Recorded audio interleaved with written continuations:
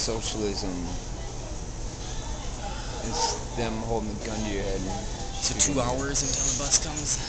Yep. Why is that? Socialism. Because propaganda. Socialism made propaganda. us miss our bus. Propaganda made us pull over.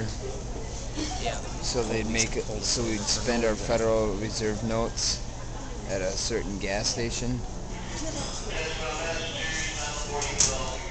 We got to get to Austin, Texas immediately. We're Dallas, we're, Texas right we're now. in Dallas. Yeah. Nice. If we performed in Dallas tonight, we'd be fine right now. But Who's giving Shows us in Austin. ride? I don't know. You haven't got a hold of anyone yet? No. Uh oh.